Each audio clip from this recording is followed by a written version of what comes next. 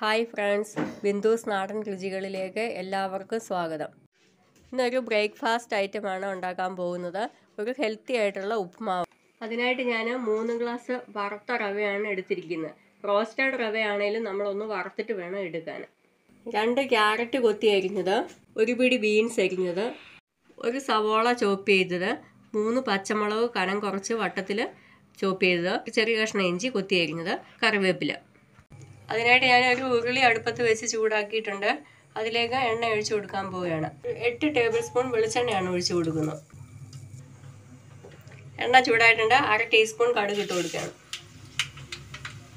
ഒരു ടീസ്പൂൺ ഉഴുന്ന്.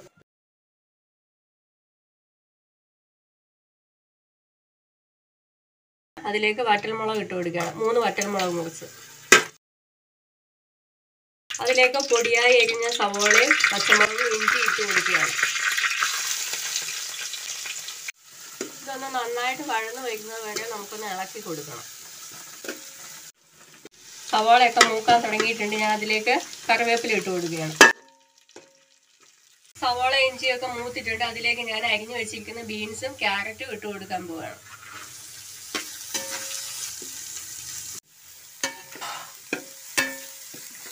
അര ടീസ്പൂൺ ഉപ്പ് ചേർത്ത് കൊടുക്കുക. ഇതിന്റെ പച്ചമണം ഒന്ന് മാറിയാൽ മതി. നന്നായിട്ട് വഴലൊന്നും വേണ്ട. ഒന്ന് ജസ്റ്റ് ഒന്ന് വാടി കിട്ടിയാൽ മതി. ഇതൊന്ന് വാടിയിട്ടുണ്ട്. ഞാനിതിലേക്ക് വെള്ളം ഒഴിച്ച് കൊടുക്കുക. ഞാൻ റവ എടുത്ത ഗ്ലാസ്സിൽ തന്നെ അഞ്ച് ഗ്ലാസ് വെള്ളമാണ് എടുത്തേക്കുന്നത്. റവ മൂന്ന് ഗ്ലാസ് ആണ്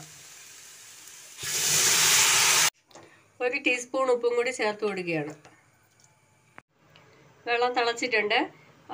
ക്യാരറ്റും ബീൻസും ഒക്കെ ഒന്ന് ഒന്ന് വെന്തിട്ടുണ്ട്. അതിലേക്ക് നമുക്ക് റവ ഇട്ട് കൊടുക്കാം.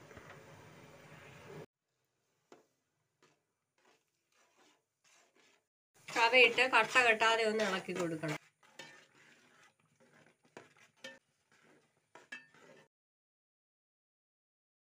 ഒരു മിനിറ്റ് നമുക്കിതൊന്ന് മൂടി വെച്ച് കൊടുക്കാം.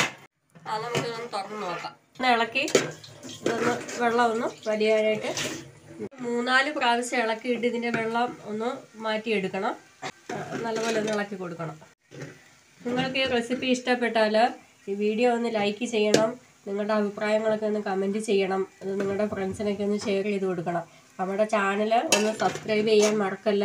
ആ ബെല്ലൈക്കണം ഒന്ന് പ്രസ് ചെയ്യണം. അതായിട്ടുണ്ട്. ഞാനിതിന്റെ തീ നിർത്തുകയാണ് ഉപ്പുമാവിലെ വെള്ളമൊക്കെ വലിഞ്ഞ് നന്നായിട്ടായിട്ടുണ്ട്. നല്ല സോഫ്റ്റ് ആൻഡ് ടേസ്റ്റി ഉപ്മാവാണ് എല്ലാവരും ഒന്ന് ട്രൈ ചെയ്ത് നോക്കണം.